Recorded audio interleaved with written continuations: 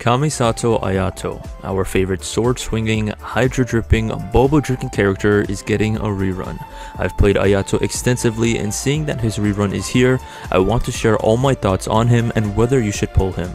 More importantly, I'll also go over how he stacks up to other Hydro DPSs to explain if you should get him or just say for other Hydro units. So let's quickly go over the importance of his kit to better understand what he can do. First with his normals, as cool as they are, you'll basically never be using them. You can ignore them and you should instead focus on his skill since this is his main source of damage. How his skill works is that once you activate it, Ayato will be in the special state where if you normal attack, Ayato will perform a special slash attack to enemies. These slashes are automated, meaning that you don't have to do any sort of aiming or anything special. You really just have to attack enemies and maybe move should an enemy be far. These slashes are performed at a good speed and deal good damage. They're a very comfy way to attack enemies because honestly you really don't have to do much. You just activate his skill and hold attack and Ayato will do everything. It's a very easy and efficient way to deal damage. A very useful and satisfying thing of the skill is that these attacks do have AoE. If there's multiple enemies on the field, you should be able to damage most if not all enemies. Now in regard to his burst, when Ayato's burst is cast, there will be a field of lotuses where Hydro is passively applied. I have to admit the burst doesn't deal a lot of damage, it's a good way to deal more damage to enemies but it isn't any form of significant damage but the burst does make up for this in many ways. First is the buff it gives to normal attacks when it is cast. This is very useful since all normal attacks will be buffed a good amount, which Ayato's skills do count towards. So if you cast Ayato's burst and then use his skill, Ayato will get a nice buff in skill damage. On top of the damage the burst deals on its own. Beyond this, it's just the way the burst works is really good. It has a wide AoE so many enemies will be affected by it, and it applies a good amount of Hydro to reliably perform reactions.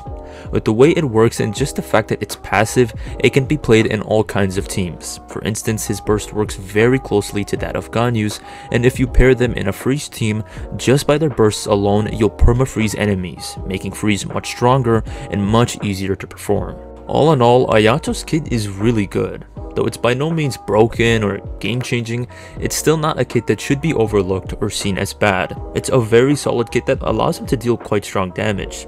Given the ease of playing him, the way he's able to buff himself, and just the fact that his abilities are so good, Ayato is a very solid and very comfy character that will almost never let you down in a fight.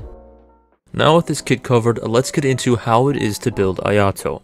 Artifact wise, Ayato has a huge variety of artifacts to use. There's the classic options of Gladiator, which if you're in endgame, you should have a good set waiting for him.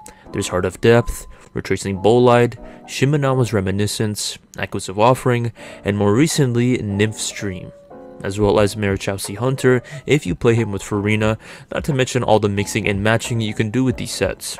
So as you can see, Ayato has a whole list of artifacts he can use, and this flexibility also applies to his swords. In terms of 5 stars, Ayato can use most of them, like the Aquila, Jade Cutter, and Mist Splitter. For 4 stars, there's the Battle Pass sword which is great for him, but there is also the free-to-play swords of the Flute, Lion's Roar, Kageuchi, and the Ishin. So when it comes to building, Ayato is very friendly. He can use all kinds of artifacts and weapons, both old and new. This makes him much easier to build than some other characters, since you don't have to go out of your way and grind for some specific set or weapon. Instead, you probably already have some good options for him, so building him should be much faster and much less of a headache than usual. On the topic of flexibility, a great thing to note is that Ayato is flexible in his builds. Though Ayato is commonly played as a DPS, he can be played as a fairly good sub DPS. With his normal attack buff, he can be a great pairing with other DPSs, for example his sister. He can also dish out a good passive hydro to enemies.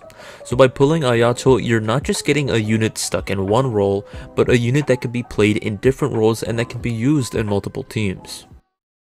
Now let's shift to Ayato's teams and speak about how they fare. On the matter of his teams, I'll first talk about his supports. This is important since, naturally with him being a DPS, he's gonna want some supports that buff him, and there are instances where a unit will only have one support to pair them with, or their support is essentially locked behind a constellation. But thankfully this is not the case and actually the complete opposite. For Ayato, there's actually a good amount of supports he can be played with. Unsurprisingly, since he scales off of attack, Benny is great for him. Furthermore, all Anemo units are really good with him. It's just Kazuha and even Jean if she's high constellation and has the attack speed buff. Similarly to Jean, there's Yunjin who at C6 will increase Ayato's attack speed a good bit, but even then before she C6 she's still a very good support for him since she'll massively buff his normal attack damage. The last support to note is the recently released Furina. For those that haven't skipped Furina to get Ayato, you can absolutely pair him with her and do really well. As long as you pair him with Jean or a proper healer needed for Furina, Ayato will deal much higher damage than usual.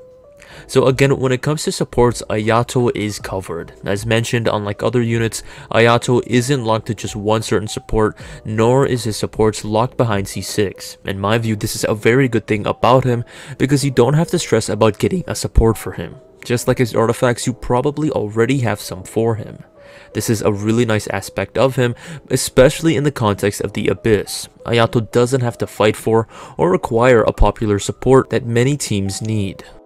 Moving to his specific teams, the first thing to note is that Ayato has a lot of teams. This lends to the fact that he's Hydro, but also to his versatility. Literally, you could build Ayato to fit any certain type of team, and he'll perform in it quite well. Some notable teams are first, his Vape team, which is really strong. You can build Ayato as a Vape DPS, giving him the Lion's Roar, and with the proper rotation, he performs really well in this team. As a DPS, this is one of my favorite teams to play him in, since in this team he deals really good damage. Next is his aforementioned perma-freeze setup. Again, his burst really shines here when combined with Ganyu's. Though in this team you may not see very high damage numbers, but know that you are dealing a lot of damage since enemies will be frozen together and taking damage from multiple sources.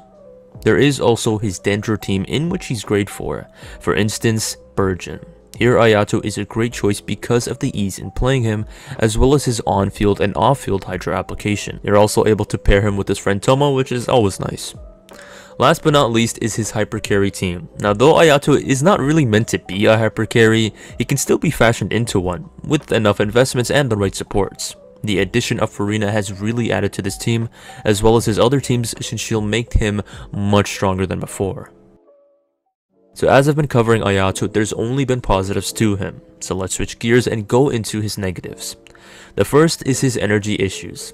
It's kind of ironic, Ayato does actually have a passive talent that's supposed to better his energy regeneration, so you know, you'd expect him to have no energy problems, but he does. The passive isn't all that good, so you'll need to find ways to battery Ayato, since as mentioned his burst is really good for him. There is of course many ways to fix this, so it's not a big deal, but more of a slight annoyance.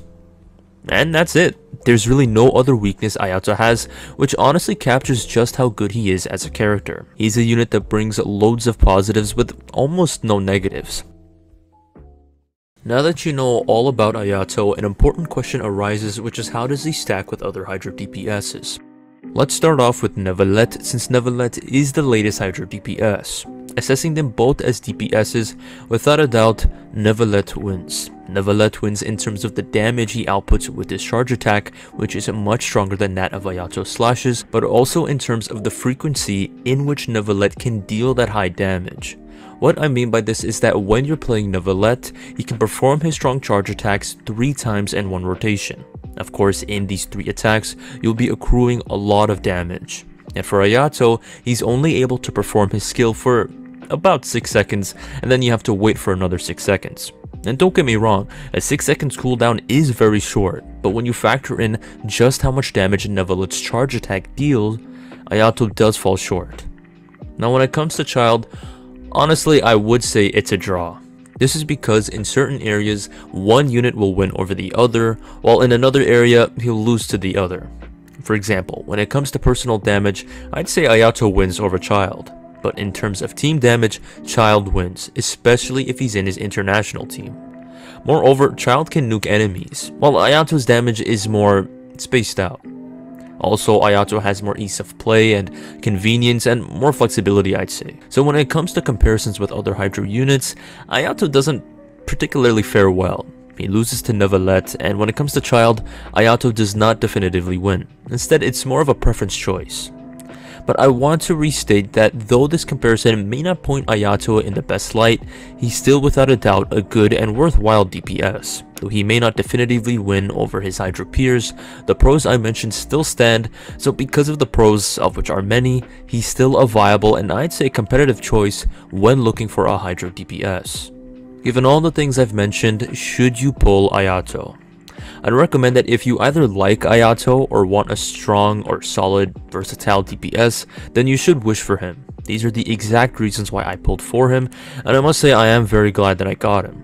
Alternatively, if you're looking for a very comfy and easy to play DPS, then definitely wish for Ayato. Ayato does most of the work when it comes to playing him, you as a player do very little, and is probably the best DPS when it comes to ease of play. On the other hand, if you already have other Hydro DPSs like Neuvillette or Childe, his pull value goes down since you already have units that fulfill his role, and as such, I'd recommend not to get him since if you do get him, you're not getting anything new or significant, so there's very little reason to get him outside of you liking him. Also, if your goal is to wish for the best DPS, then I wouldn't recommend Ayato.